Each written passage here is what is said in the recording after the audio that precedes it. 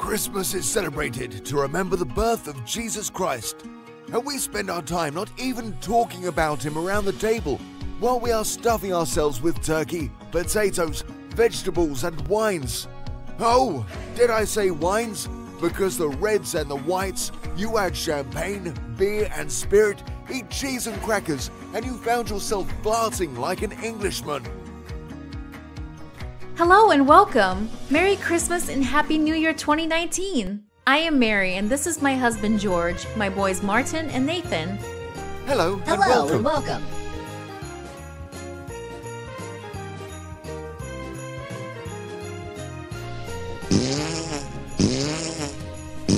Pack it in, George. Your arse needs a rest.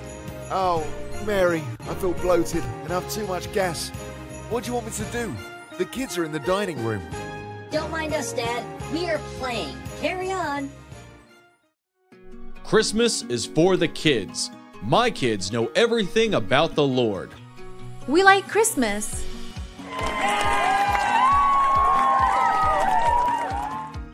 I don't like Christmas. It's for Mary and the kids. Today, I'm here to talk about the New Year resolution. The world is big and it has its problems. Some big, some small. Modern world, let's debate. It's all about democracy and freedom of expression. We can only solve our problems if we talk about them. This is the 21st century. Keep on talking. Did you like our video? Please subscribe.